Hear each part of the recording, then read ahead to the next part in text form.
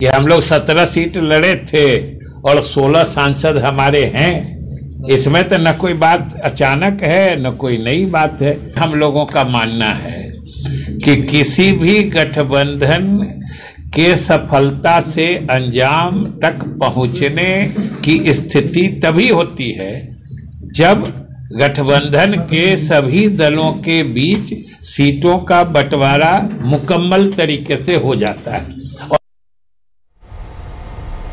और अब उस खबर से खबरदार करते हैं जहाँ जाँच होनी है और फिर पता चलना है कि क्या एक मंत्री, जब पूर्व मंत्री हुए तो सरकारी बंगला खाली करने पर अपने साथ जनता के पैसे से लगा हुआ टीवी एसी किचन का आरओ और चिमनी तक लेकर चले गए।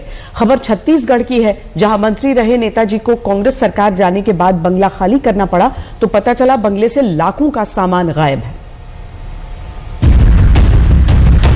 छत्तीसगढ़ की राजधानी रायपुर में शंकर नगर का बंगला नंबर सी टू।